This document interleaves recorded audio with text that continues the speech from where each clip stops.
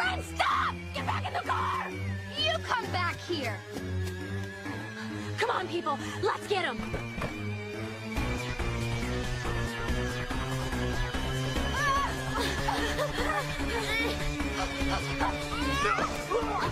Pull him down!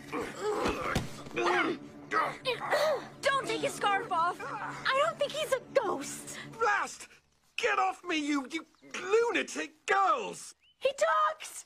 He sounds like...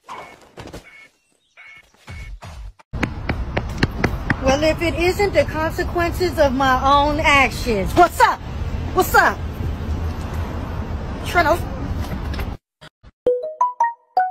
Try it. How do you like it? I don't know. It feels kind of weird. So Now, true. why I just am I thought it in was it? funny. And you could have did Now, it. see, I I get did wrong it and because you stuff. never I apologized. that.